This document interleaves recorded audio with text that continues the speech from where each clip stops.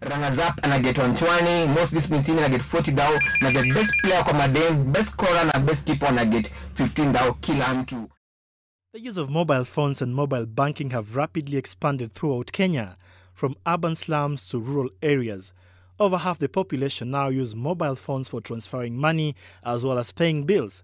In August of this year, Internews launched a four month pilot project in partnership with MobiKash, a mobile banking system and a network of community radio stations to help these stations earn money. The scheme works by putting community voices on the air through an innovative M dedications project.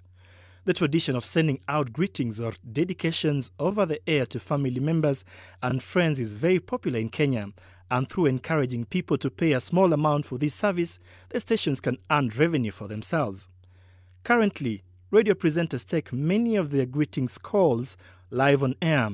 Radio stations are often overwhelmed by high numbers of greeting requests. Radio presenters hold entire shows solely using greeting messages, but these shows are sometimes overwhelmed.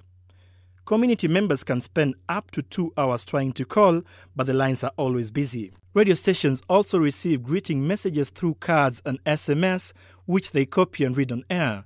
But currently, radio stations only make money from greetings sent in by cards. These cards also require listeners to travel to the radio station to deliver them, and this can create a backlog of messages. Although more efficient, neither SMS nor live calls make money for the radio stations. The innovative M dedication system allows listeners to pay for and record their own voices to broadcast their greetings. MobiKash has been working closely with community radio stations to tailor the system to their needs. The system enables stations to pre record messages and send into programs. Stations are also able to customize prices and time slots for recorded greetings.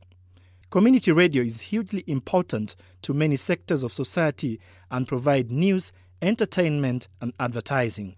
So radio stations are excited about the possibility of rewarding regular listeners like local restaurant owner Mama Caro.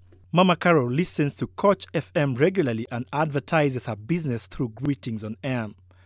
In the future, through a bonus system, she will be able to get a discount on certain number of free messages to advertise her business.